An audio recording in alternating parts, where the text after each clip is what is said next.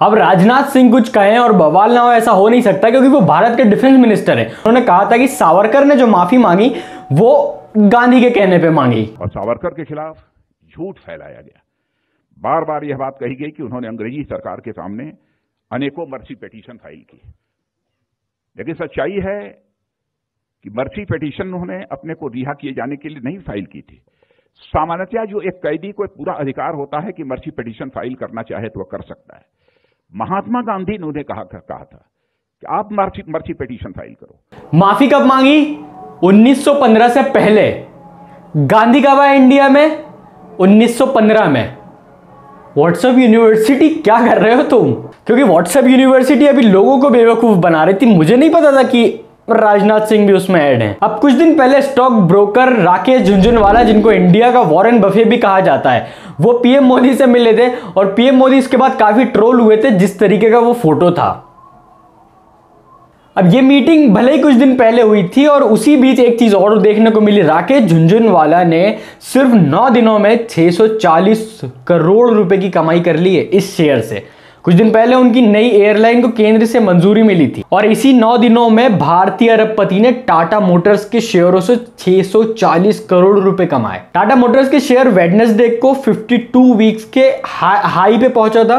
Company national stock exchange पर पाँच सौ प्रति शेयर पर कारोबार अभी कर रही है। अब वेडनेसडे को टाटा मोटर्स के जो शेयर थी, उसकी कीमत 20 फ़ीसदी से ज़्यादा बढ़ोतरी कैसे हुई? ये सवाल है। 30 सितंबर को कारोबार की संपत्ति पर टाटा मोटर्स तीन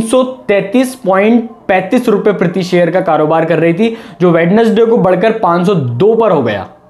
दूसरे शब्दों में, इस अवधि के दौरान प्रत्येक शेयर की कीमत 189 रुपए की वृद्धि है। अब, एक्सपर्ट्स के अकॉर्डिंग टाटा मोटर्स की जो शेयर होल्डिंग पैटर्न है, उसके आधार पर इस साल अप्रैल, जून में के तिमाही में झुंझुनवाला के पास अड़तीस लाख पचास हज़ार शेयर थे। अब, ऐसे ही थोड़ी ना मुलाकात हुई होगी। एंड आफ्टर ऑल हमारे राकेश झुंझुनवाला इनके फ़ैन हैं। अब राजनीति में टिप्पणी हो और सामने वाला पलट के जवाब ना दे, ऐसा हो नहीं सकता। मध्य प्रदेश की खबर है, राज्य भाजपा प्रमुख ने कहा कि भैया, उनकी जो पहचान है, उनके संगठन के कारण है, जिसका ड्रेस कोड हाफ़ पैंट है। और हाफ़ पैंट कौन सा ऑर्गेनाइजेशन को रिप्रेजेंट करता है?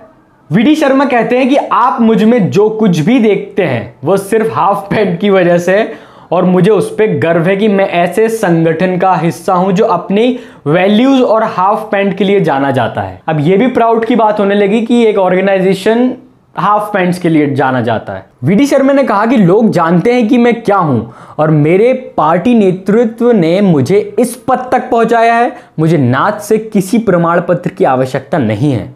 वीडी शर्मा ने आगे ये भी कहा कि इस हाफ़ पैंट्स ने कांग्रेस को जो है वो गिरा दिया है, जिसके सदस्य नाथ हैं। पुरानी पुरानी पार्टी पुरानी हो गई है और इस हाफ़ पैन की विचारधारा ज़ोर पकड़ रही है। तो चलो वी डी शर्मा ने यह तो माना कि बीजेपी ने नहीं गिराया कांग्रेस को, आरएसएस ने गिराया कांग्रेस को मतलब कि उन, उन्होंने कहीं ना कहीं ये कह दिया इनडायरेक्टली ये लड़ाई कांग्रेस से जो चल रही है ना, वो आरएसएस की है, ना कि बीजेपी की।